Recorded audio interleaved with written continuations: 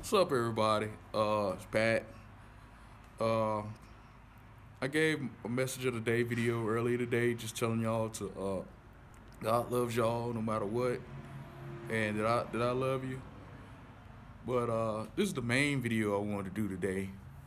It's a uh, not really a Q and A video, but uh, it covers some uh, questions that I think need to be covered as far as alternative fashion goes and whatnot.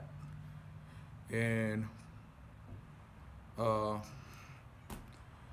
question: You work at a job and y'all you have to wear a uniform.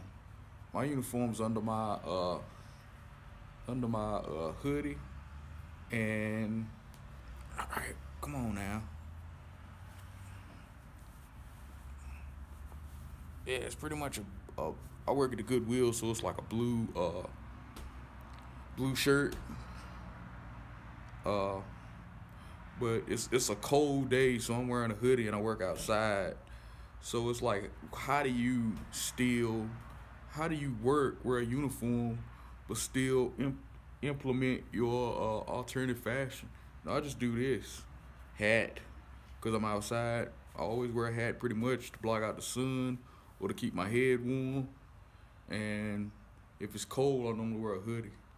But normally what I may do sometimes is I might uh, wear a, wear a necklace or something, or wear glove, wear gloves or something that, that would set everything apart.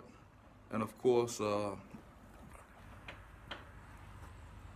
practically wear that with every outfit. A pair of uh, black skinny jeans, or black skinny shorts, or even the Tripp, like the Tripp shorts with the chains and the straps on them. So uh, that's that's that's what I do. But I, I feel like if you can accessorize and, and do what you, do what you need to do, as long as you aren't violating your your work policy, I just think everything's fine. But uh, there you have it. Love y'all. God bless y'all. Peace.